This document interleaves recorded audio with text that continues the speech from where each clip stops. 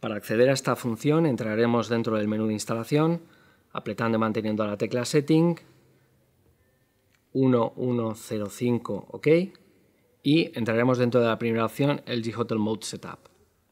Bajaremos hasta la función llamada aux source setting. Al habilitarla vemos cómo aparecen dos opciones en las cuales en la primera de ellas input source puedo seleccionar cada uno de los distintos lista de entrada desde RGB, los distintos HDMI, AV y componente.